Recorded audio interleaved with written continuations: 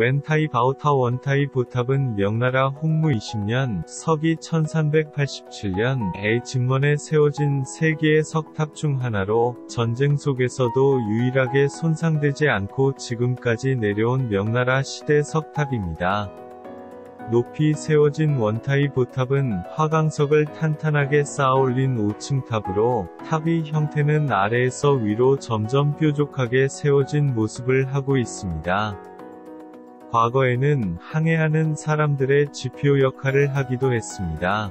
진먼성 쪽을 향하고 있는 처마 밑으로 글귀와 그림이 새겨져 있고 탑 밑에 반석에 명나라 만력 35년 위 유명 서예가의 글과 함께 작고하신 동양화의 대가 장대천 씨가 쓰신 국의 금탕이라는 글이 남아 있어 국가 유적지로 지정받았습니다.